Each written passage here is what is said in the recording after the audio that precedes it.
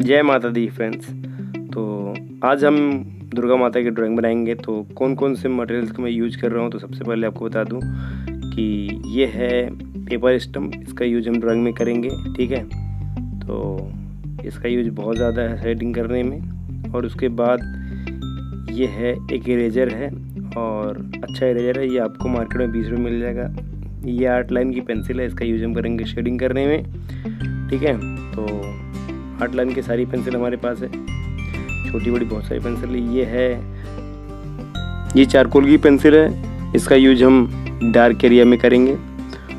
और ये है पेंसिल एक्सटेंडर ठीक है? इसका यूज़ हम जो जो पेंसिल छोटी हो जाती है, उसको इसमें लगा के यूज़ करते हैं, ठीक है? जैसे ये है, ठीक है?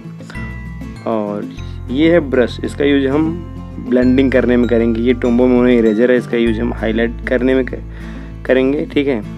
और इससे हाईलाइट अच्छे से हो जाती है।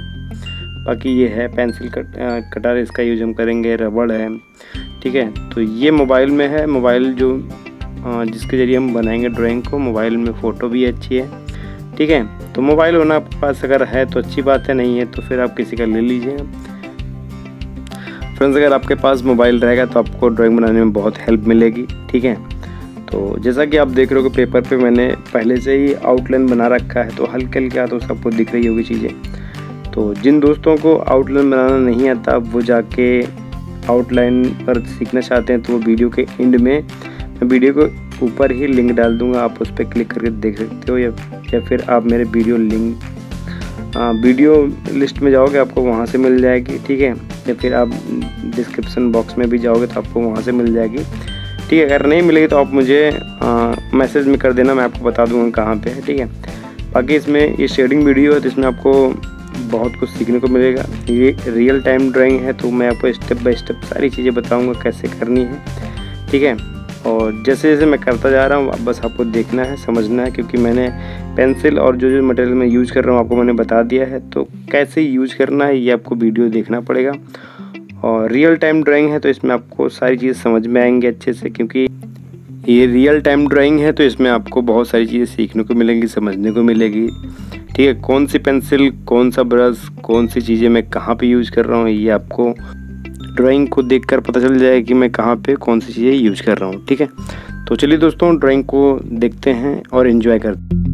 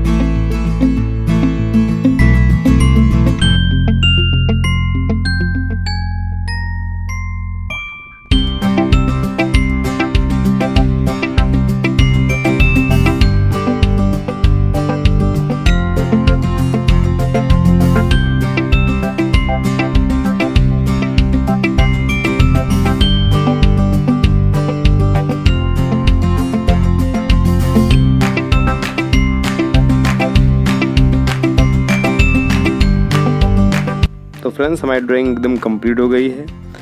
आई होप कि आपको ये ड्राइंग अच्छी लगी होगी। अगर आपको अच्छी लगी है तो प्लीज़ आप चैनल को सब्सक्राइब ज़रूर कर दीजिएगा और लाइक कमेंट करके मुझे बताइए कैसा बनाया ठीक है? हम आपको मिलते हैं एक नए वीडियो में। तब तक के लिए बाय टेक केयर जय माता दी।